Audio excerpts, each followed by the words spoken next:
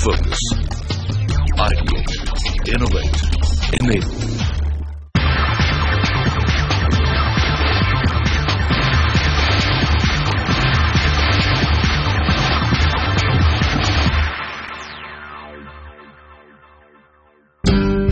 Exploring opportunities for growth and investment starts with the East as the government of West Bengal kicks off another round of the Bengal Global Business Summit.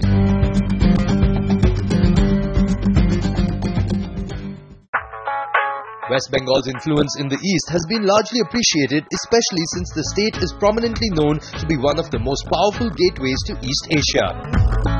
The state has also been known for its continuous economic growth and this is evidently seen through the rising prospects put forth at the Bengal Global Business Summit 2016.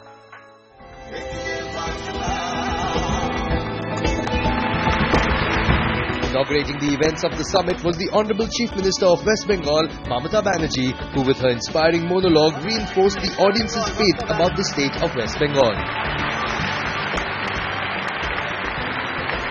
In our democratic setup, the central and state, we believe that development, progress, prosperity, and development for the country.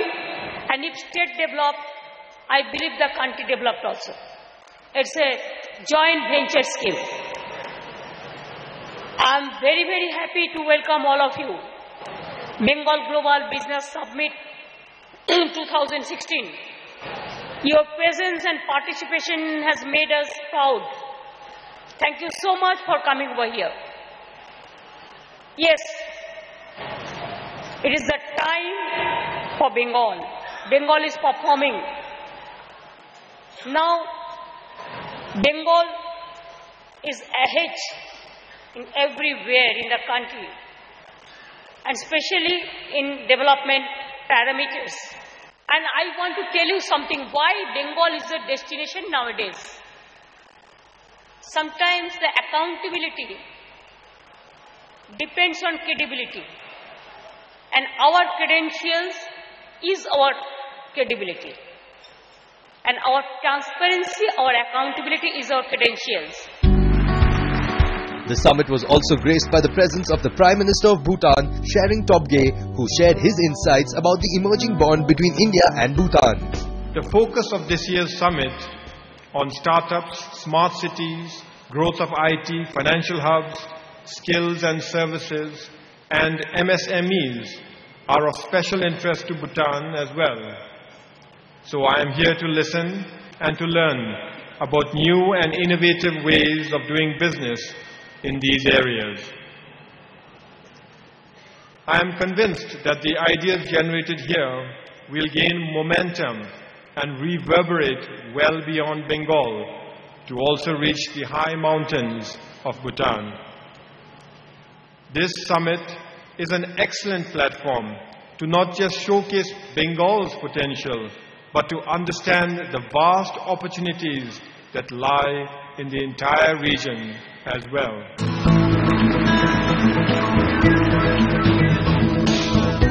Minister of Finance, Corporate Affairs and Information and Broadcasting, Arun Jaitley reinforced the idea of a powerful India through the unity of Indian states.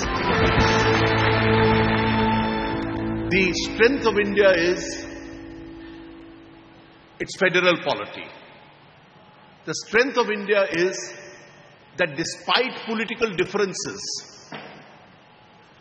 we cooperate with each other because there is a constitutional structure that binds the center and the state. West Bengal today contributes about 6 to 7 percent of India's national GDP. A strong West Bengal is going to enhance its contribution further to India's GDP. India grows if the states grow. And therefore, the government at the center has a vested interest in making sure that states like West Bengal grow. There is an additional factor. Conventionally, states to the eastern part of India haven't grown as rapidly as the states to the western part of India. States to the western part of India had achieved a reasonable growth rate and a reasonable base as far as the GDP is concerned. The enhanced 1 to 2% of India's GDP substantially has to now come from states to the eastern part of India. And that is why it is this region, from East Uttar Pradesh to Bihar to West Bengal to the northeast to Orissa, where the potential for growth is going to be much higher, and therefore we have to concentrate for growth in this region. The Bengal Global Business Summit saw some of India's biggest industrialists take the stage. Bringing his own ideas and views about a resurging state was the chairman of Reliance Industries, Mukesh Ambani. Events such as this are transformative moments in the history of a state. It is a platform to bring together all of us who have a stake in the development of the state. This event is not that of a chief minister meeting with industry or industry meeting with administration. The platform is to build a true partnership to serve all the people of West Bengal. And over the last four years, West Bengal has achieved significant all around economic and social progress and is focused on improving the quality of life of its over 90 million citizens people are very much excited. They know that the, everything they are uh, trying to know about the West Bengal investment and uh, to start the startup uh, business. So this is then this interest have been also inspired us as a banker. So we'll we get the future very good market in here.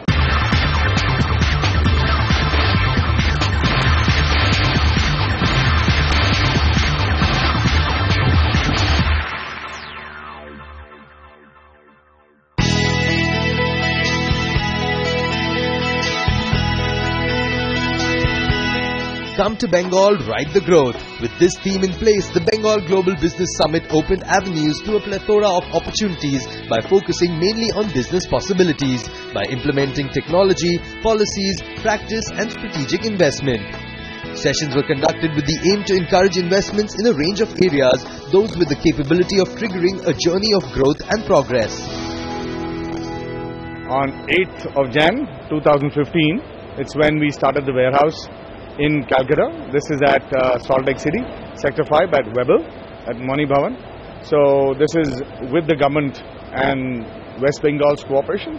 So we've received a plug-and-play space from the government and our role has been to provide the, be the subject matter expert and help build the ecosystem. So within Calcutta to see how we can get startups engaged, you know, get some more startups out of the city. Uh, so we started off with the city, but I think in extending across to the region.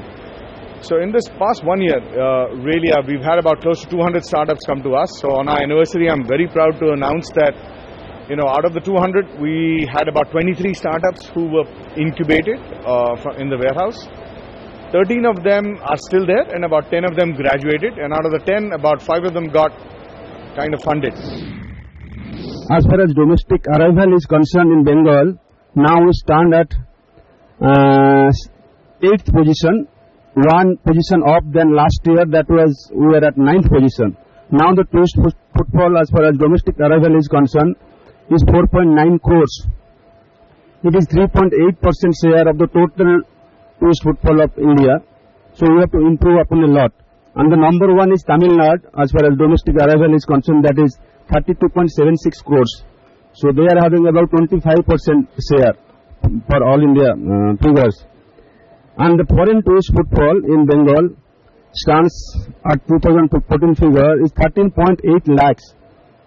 So this is about 6.1% share of the total foreign footfalls. I have seen the summit growing from strength to strength.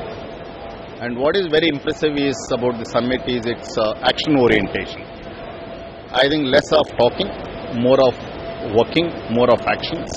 And example being the session which I have been panel on the panel of uh, the education, skills, health sector.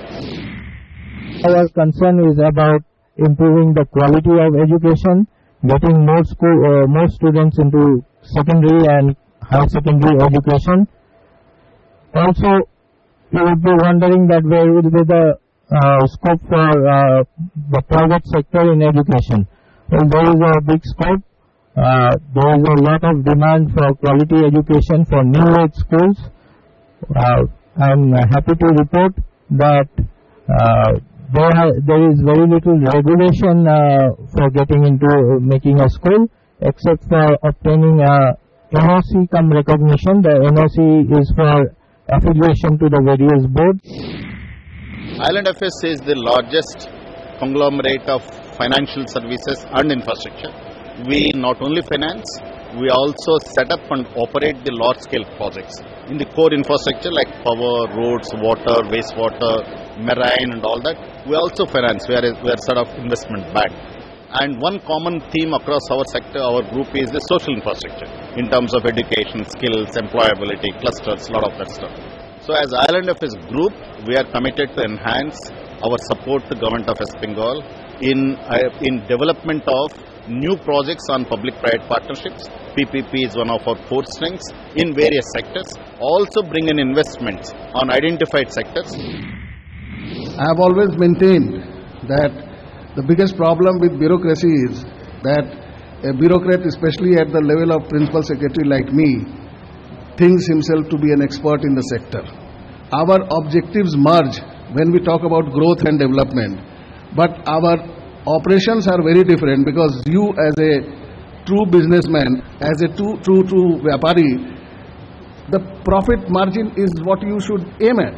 You know, how much profit can I make by undertaking an activity? Whereas for government, there are issues like environment pollution, there are issues like labor, labor welfare, there are issues like fire and other safety measures, which for you is a big burden.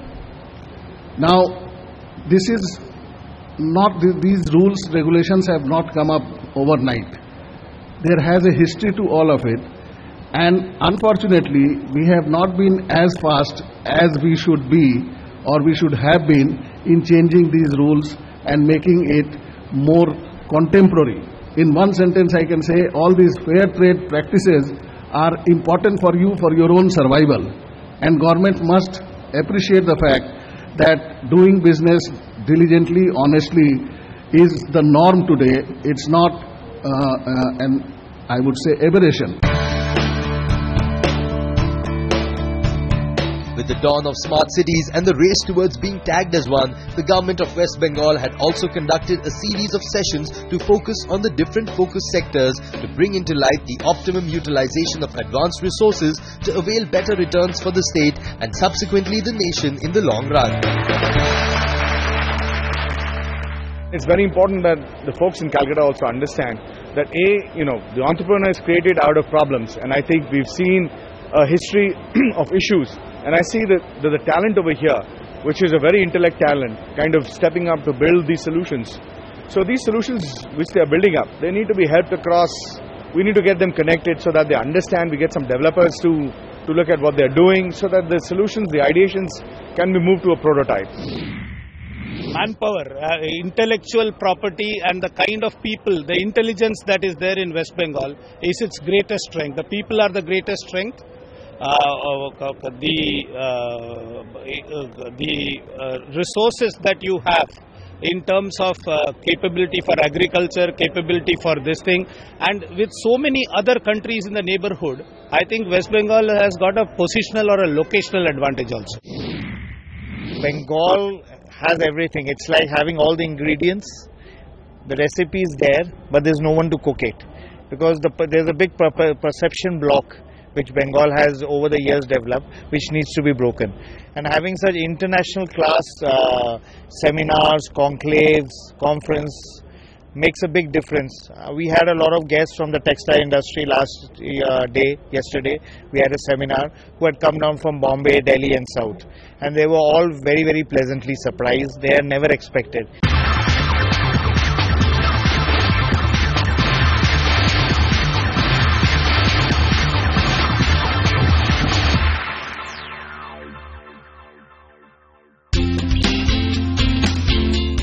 Aimed at being investment friendly, the Bengal Global Business Summit also focused on key issues around infrastructure and rural development. I would think that uh, affordable housing, um, and for uh, for most parts of India, uh, affordable housing is a very important key criteria. I think if we can train PPPs with the government to do affordable, large-scale affordable housing, I think that would be very very useful for West Bengal. I think it is very close to every government's heart. And uh, without public sector, without private sector participation in affordable housing, that seems difficult.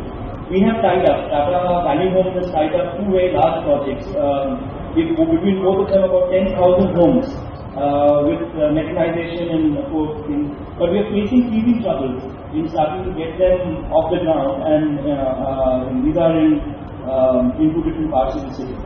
So I would think that if we can get that going, uh, that, that will bring in a large number of things. NHB itself is uh, very proactive.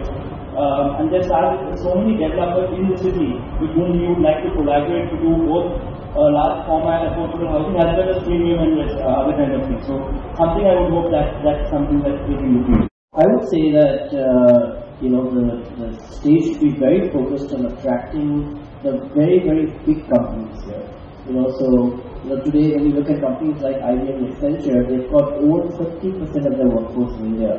And when companies like that come and they grow in a big way, it creates an enormous ecosystem around it.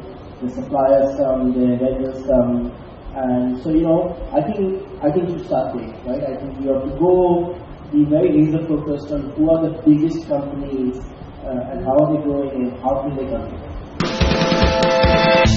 compete. India grows if its states grow. A summit of such grandeur would not have been complete without the signing of MOUs between different organizations. First ever private greenfield airport in India.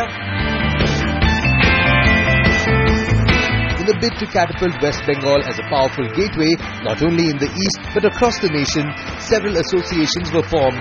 Those who were keen on making West Bengal an influential economic, technological hub of the country. With the aim to attain long-term growth, the government of West Bengal, through the Bengal Global Business Summit, secured a massive funding for investment opportunities. This will not only boost West Bengal's position on the map, but will also make it a key player in contributing to India's growth.